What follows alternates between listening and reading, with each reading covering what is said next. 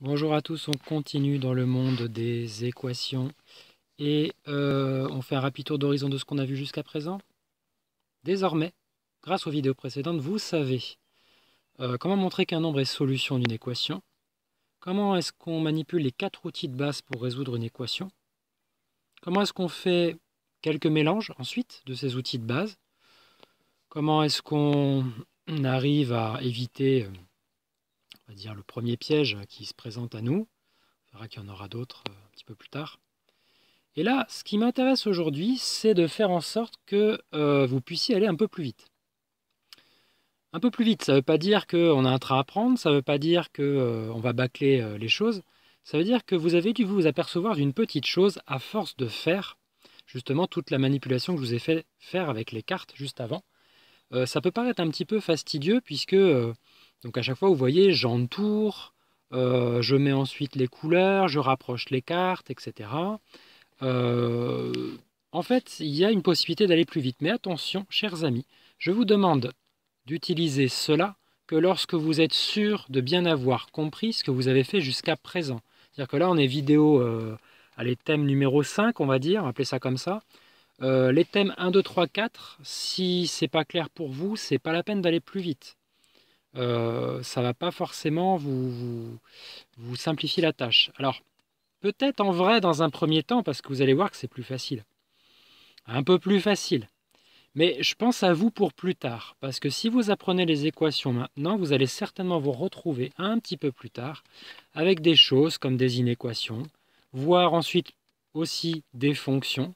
Et là, euh, je pense notamment aux fonctions, pas même aux inéquations en fait on va voir qu'il y a des petites particularités qui font que lorsqu'on va multiplier ou diviser par un nombre négatif, eh bien, ça va impliquer certaines choses.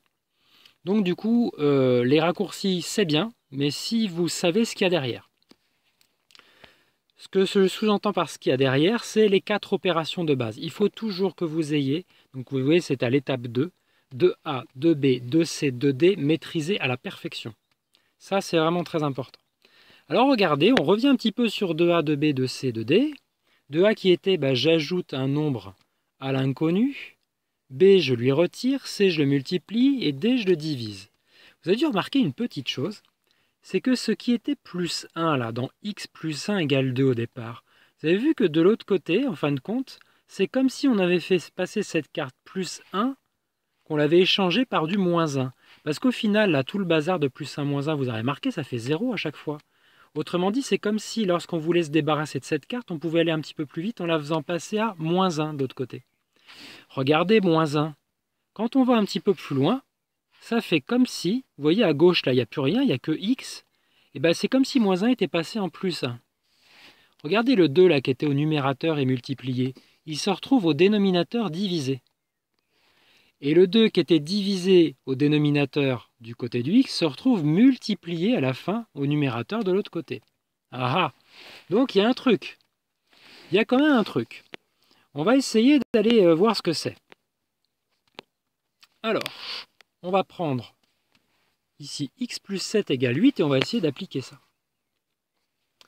Alors, comme d'habitude, hein, j'aime bien euh, voilà, quadriller. Encore une fois, si vous ne faites plus d'erreurs n'avez pas besoin de quadriller, hein, on est d'accord. C'est si jamais par contre vous continuez à en faire, n'hésitez pas à les remettre. Ça aide votre cerveau à vous situer dans le calcul. Alors ici, on va tenter notre chance. On a plus 7, j'aimerais bien le dégager plus rapidement de l'autre côté.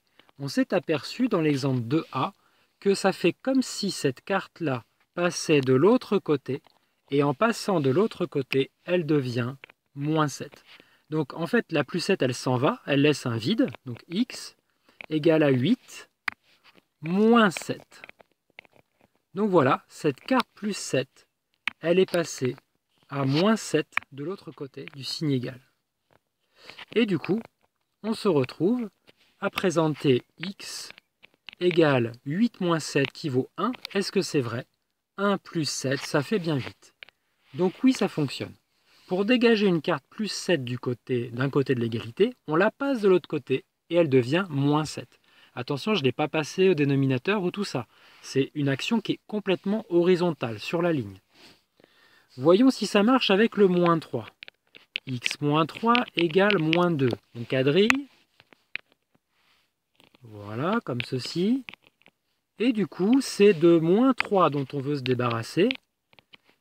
On va faire passer cette carte de l'autre côté. Et elle doit devenir normalement plus 3.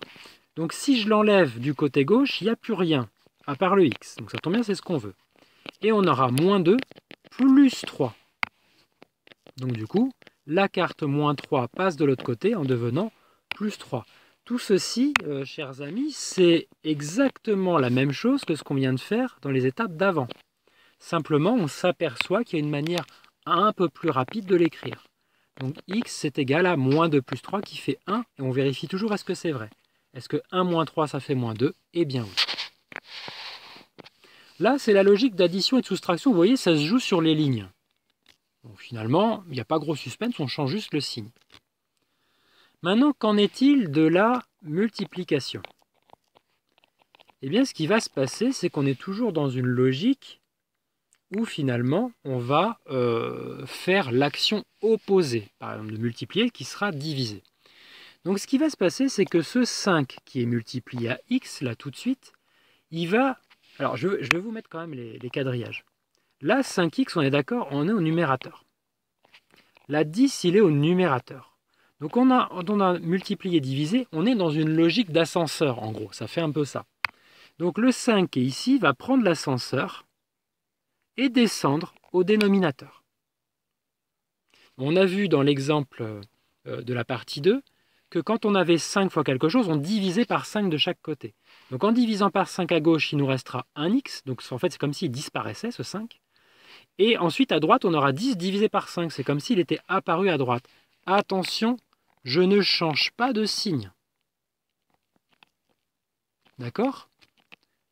Je passe du numérateur à gauche au dénominateur à droite. En tout cas, passer de l'autre côté du signe égal revient à passer du numérateur au dénominateur ou du numérateur au dénominateur. En tout cas, c'est quelque chose qui se fait en croix. Si l'ascenseur, ça ne vous parle pas, pensez à la croix.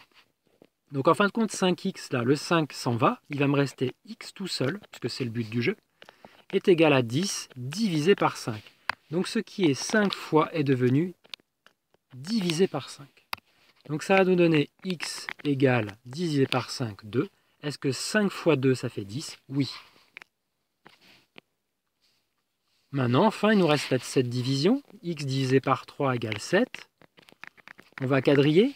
Pour l'instant, qu'est-ce qu'on a? X au numérateur, 3 au dénominateur, 7 au numérateur et rien au dénominateur. Enfin, rien, c'est 1 en réalité, mais on ne le met pas, on le met pas tout le temps. En fait, ici, on a une division par 3. Qu'est-ce qui va se passer?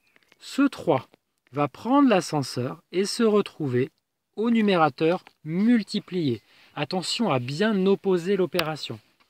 Donc ici, on va se retrouver avec le 3 qui s'en va, x sur 1, c'est x, est égal à 7. Attention, 3 était divisé, il devient donc multiplié au numérateur.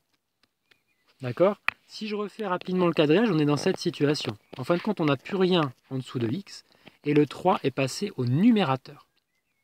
Donc dans les logiques de multiplication et de division, en fait, on a, euh, on va dire, une sorte de produit en croix qui se fait c'est-à-dire un passage entre dénominateur et numérateur, ou numérateur et dénominateur. 3 fois 7, ça fait 21. Est-ce que 21 divisé par 3, ça fait 7 Oui, c'est le cas. On résume Dans les logiques d'addition et de soustraction, vous prenez vos cartes, parce que additionner soustraire, c'est des cartes, c'est des termes.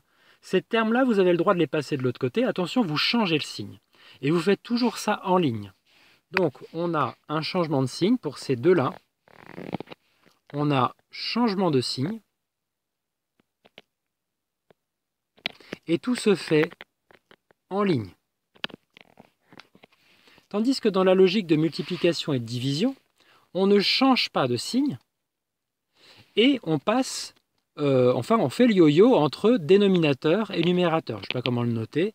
Dénominateur devient numérateur et inversement.